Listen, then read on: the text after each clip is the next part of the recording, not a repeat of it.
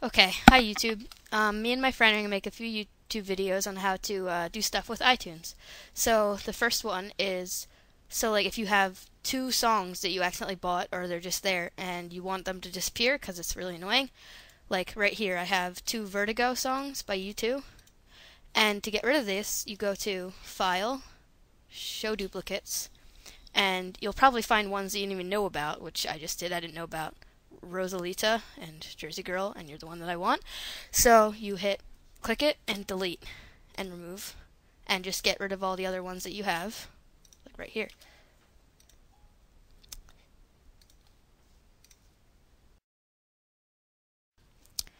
Okay, so the next part is going to be how to use the Genius feature of iTunes. So first, if you haven't done this already, go to Genius, and it should have like a screen saying you haven't downloaded it yet. So once you downloaded it, go to your playlist, your library, and click on the song that you want a Genius playlist for. And then you go down and hit this button, Start Genius. It will compile a um, playlist of the songs that are related to it. So you can change this number of songs to 25, 50, 75, and 100. So 25 songs will have songs that are more related to the first song that you chose, and 100 will have songs that are less related. And if you don't like the playlist that you just made and doesn't have songs that you like, hit refresh as many times as you want. And when you like yours, you can hit save playlist and it'll make a playlist down here. Some songs don't have a genius thing, like it won't make one because they're either too old or whatever, like this song. So I'm going to hit genius on it and it'll say genius is unavailable for the song. Okay, so our next section is going to be how to add album artwork if it's missing. So to find if it's missing, you go to View, Show Artwork column, or Control G. Now you'll see ones that have album artwork and ones that don't. So we're going to find, where is it?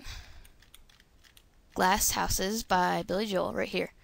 You're going to, oh wait, first we have to get the uh, picture. So Glass Houses, I went to Google Billy Joel glass houses and I found one that would work. So you go to view full size image, right click and copy. Then go back to Okay, so now I'm going to teach you how to add lyrics to your songs. So um, first I found the song that I wanted lyrics for and I went to Google and did the song and then lyrics. So I found one. Now scroll down to where the text is on the um, song and copy it and right click and copy. Now go back to your iTunes and right click on the song that you just got it for, get info, get info, and lyrics. Now right click and paste. Hit OK. Um, and so when if you have an iPod Touch, I'm pretty sure it only does it for the iPod Touch. You can um, double click while you're watching the um, listening to the music. Double click on the screen, and you can scroll through your lyrics.